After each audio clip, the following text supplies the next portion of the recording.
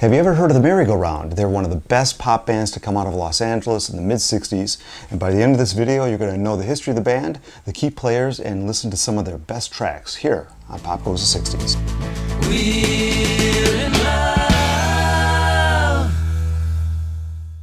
The Merry-Go-Round was formed in 1966 by Emitt Rhodes in Hawthorne, California.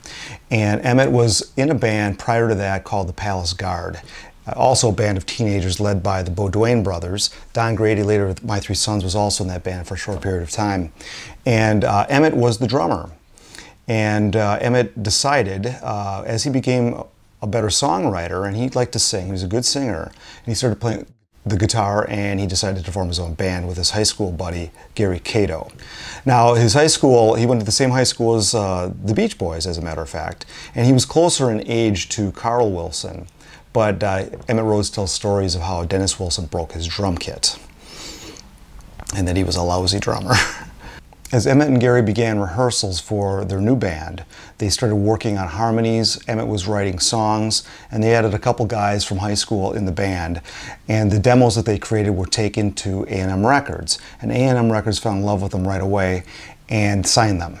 Now, the original bass player and drummer got aced out by Joel Larson and Bill Rinehart. Rinehart was formerly of the Leaves, and Joel Larson was in an early incarnation of the Grassroots, and both of those guys have played a little bit with the Gene Clark Band. So you, you got a couple good professionals here, and they were ready to start recording as a solid band.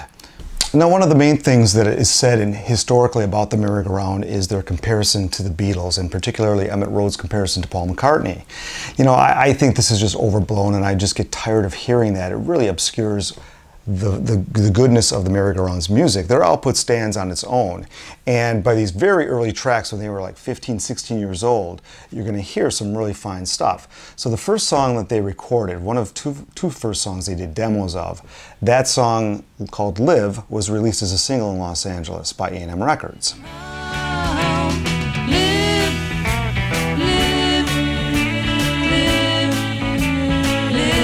So Live charted at number one in Los Angeles. It was an immediate hit, and it charted nationally at number 63 on the Billboard Top 200.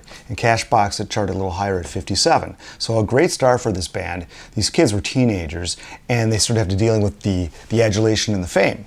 So the next single they came out with also hit number one in Los Angeles. That's called You're a Very Lovely Woman. You're a very lovely woman, but I think I better turn you down this time. You're a Very Lovely Woman nationally didn't chart as well. It charted at number 90. But for having two number one songs in LA, A&M said, well, let's get an album out right away. So this is their first album. It's called You're a Very Lovely Woman, Live. And I actually bought this album, still sealed, in the late 80s. I, it was a... Um, a trade magazine I found. I don't even remember where it was from. It has it here. Les Harris Records, San Antonio, Texas. So Les, I've got your album. This was still sealed. I paid 30 bucks for it. For a teenager, that was a hell of a lot of money. I opened it and I played it because I, I didn't really, I didn't know where I could get these songs ever again. But anyway, this album is a very solid album. It's a folk rock mix of, of songs. And you will hear a Beatle influence, but you'll also hear a Byrds influence. They didn't really use 12-string guitars, but they have a very jangly guitar. So let's listen to a couple of the tracks here. One of my all-time favorites is On Your Way Out. When your time is run out, your time is run out. So that's one of the more serious songs, but I mean, you can hear in a lot of these songs Emitt Rhodes' his skill with melody, and you hear that on this song called We're in Love.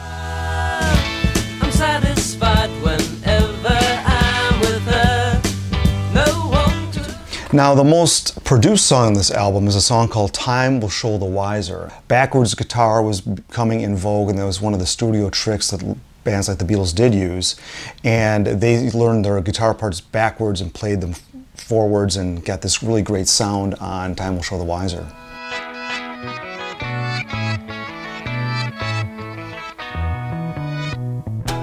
Now that song was also covered by Fairport Convention, I believe, on their debut album in 68. And this album is important, I think, in hindsight anyway, because they wrote all the material on this record. Emitt Rhodes, and there's a couple co-writes on here with Gary Kato. But uh, very unusual for a teenage band to be able to write every song. So with two regional hit singles and an album to promote, they went on uh, on tour. They toured with uh, all the, the bands of the day, Electric Prunes, The Doors, Jefferson Airplane, Buffalo Springfield, and uh, they played the Magic Mountain Festival and some of the, the bigger pop festivals actually. The Fantasy Fair and Magic Mountain Music Festival they played on both days, closing, I think, the second show. So they were getting a, some pretty good slots and they were starting to get their chops together live. So with the album to promote, they were touring fairly heavily. They toured mostly California, but they did some tours of the East and the Midwest. And the album climbed to 180 in Billboard's Top 200, which isn't too bad. So as 1968 started, they continued to create singles. Now, these singles, this album was done rather hastily and they did very nice demos that were sweetened. They only had a couple very well produced songs on this album. Overall, the sound is very good, but with their singles starting in 1968, there was more production put into them.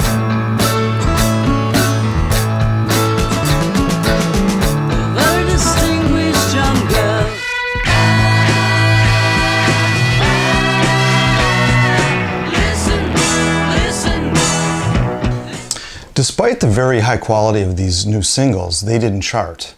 And during this time is when Bill Rinehart left the band and was fired from the band. He was having problems and he was just kind of an upstart and they, they kicked him out of the band and brought in another guy called Rick Dey. Rick Dey was a seasoned musician. He had co-written the song uh, Just Like Me by Paul Revere and the Raiders and felt, got cheated out of all the money. So he was brought in to play bass and they continued on. They were starting to work on what was going to be the second album. And one of the centerpieces of that album was a song called Come Ride, which was a very, uh, probably their most psychedelic song and uh, very heavily produced. But she knows everything's right.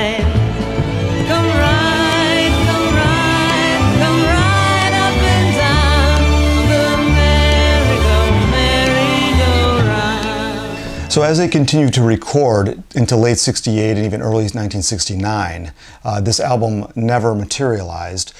So many of these tracks uh, lingered in the vaults for a long time. And some of the, at this point, the band started to break apart because they just weren't having any success. They weren't touring as much since they didn't have any hits. They weren't getting bookings. And at this point, Emitt Rhodes, who was already well in command, started recording some things maybe without some of the other band members, songs like these two. Saturday night and I'm alone again. It's been too long to Pardon me, is your love taken? Hope I haven't been mistaken, thinking you might love me. So both Pardon Me and Saturday Night are, are great, great melodic pop songs and they didn't see the light of day until a couple years later uh, when another album came out to fill a contractual obligation. This was called American Dream, and this was attributed just to Emitt Rhodes, but some of the merry-go-round songs are on this album. Now, the big split in the band came with Gary Kato and Emitt Rhodes, the two main founding members, and Emitt Rhodes wanted to stay with A&M Records. Gary Kato didn't think they were being taken care of and they weren't being promoted, and that was basically the split. So the band really petered out and didn't make much money. They were very young and they signed contracts in perpetuity, which basically gave their management all the future earnings, which was not good for them. So this was the beginning of a very rocky road for Emitt Rhodes, who had all the talent in the world, but just had some very poor management. Now, as he went into his solo career, so in 1970 he signed a deal where he had to come up with six albums in three years. That's an album every six months. And Rhodes was recording in his garage. He had built a very nice recording studio. So the way he was doing this at this point was he didn't form another band and he was recording all the instruments himself.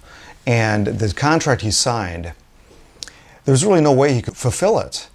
So as Emitt Rhodes began his solo career, he signed with ABC Dunhill. And at that point, he started recording his official first solo album. But what happened was when that album came out, A&M had assembled those latter day merry-go-round songs and put out their own album under the name of Emitt Rhodes. So these two albums competed with one another and basically sunk. That album that A&M put out is called Emitt Rhodes' American Dream. I don't have that one, but I have the, his actual first solo album by Dun on Dunhill called Emitt Rhodes. And this had a single, a hit single called Fresh as a Daisy. a minor hit, number 58, I believe it hit on Billboard.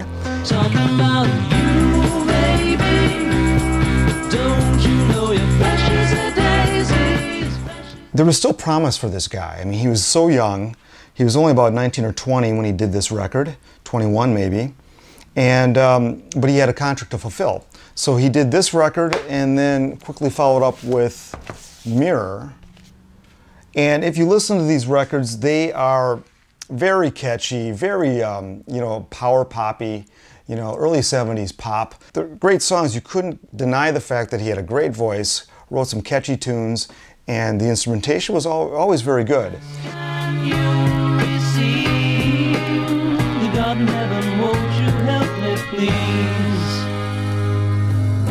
You can have someone and still be alone.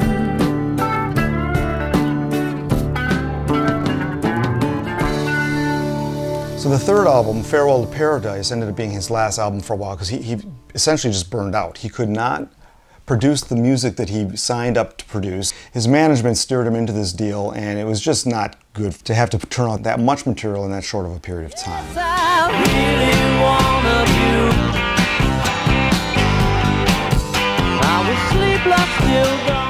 so after he burned out after the third album, he ended up just working in the music business behind the scenes for a number of years and faded into obscurity.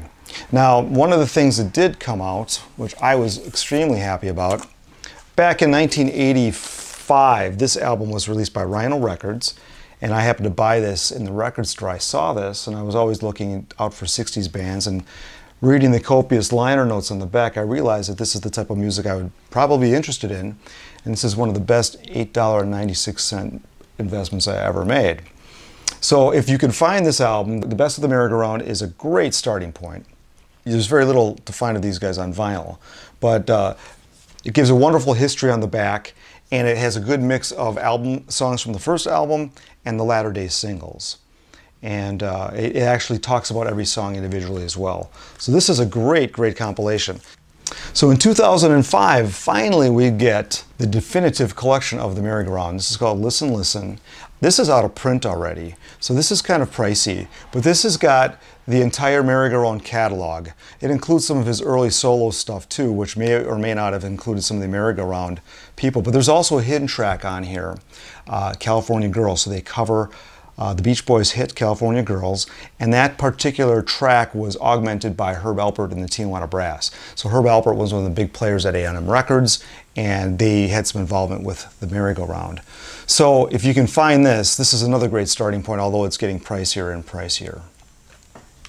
So the story of the merry-go-round is rather rather sad because you had a really talented guy who got eaten up by the record industry. Emitt Rhodes fell into some depression and had a real tough time through the 80s, 90s, and 2000s. Uh, though he did rally in 2016 to record a brand new album, which is critically acclaimed. Passed away in summer of 2020, unfortunately, and all of a sudden we started to see these prices on these records go up. One other thing I'd like to mention is one of the, the other bands that covered the, the merry-go-round were the Bangles. This is their first album, and they did a cover of the song Live, and this was 1984. And this brought them a little bit of attention back, though Emitt Rhodes didn't own any of the publishing. He didn't make any money off of it, unfortunately. So, there you have the story of the merry-go-round. Hope you enjoyed it. Check back next time for more great 60s bands on Pop Goes the 60s.